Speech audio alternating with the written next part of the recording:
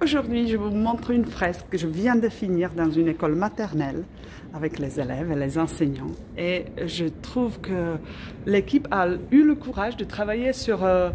Euh, sur l'art abstrait et l'art moderne. C'est ce qui se fait pas beaucoup pour les fresques et j'ai trouvé ça génial.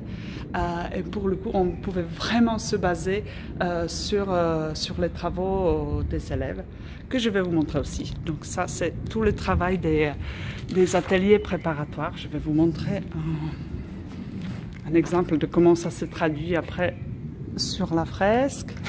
Voilà, oh tout vole, tout vole. Vais me dépêcher avant que tout s'envole. Euh, les enfants ont super bien travaillé. C'était un travail euh, découpage graphique. J'adore ça. Euh, et puis, c'est vraiment quelque chose que j'aime beaucoup et je suis toujours émerveillée par, les résultats. Encore une fois, nous avons eu beaucoup plus de comment dire d'idées, de créations que de murs et tout s'envole. Espérons que tout ça ne va pas s'envoler avant que je fasse la vidéo. Donc ici, nous avons fait tout un paysage en découpage. Nous avons travaillé sur, euh, sur les formes, principalement sur, euh, sur les formes, sur la composition. Euh, c'était un travail très agréable parce qu'on n'a on, pas forcé la, main des petits à, à, faire quelque chose de figuratif. et puis, ils étaient assez libres dans leur expression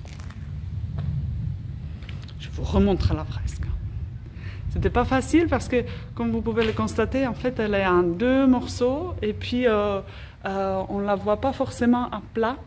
Euh, donc en fait, moi je, voulais qu'il y ait plusieurs possibilités de lecture selon là où on se positionne.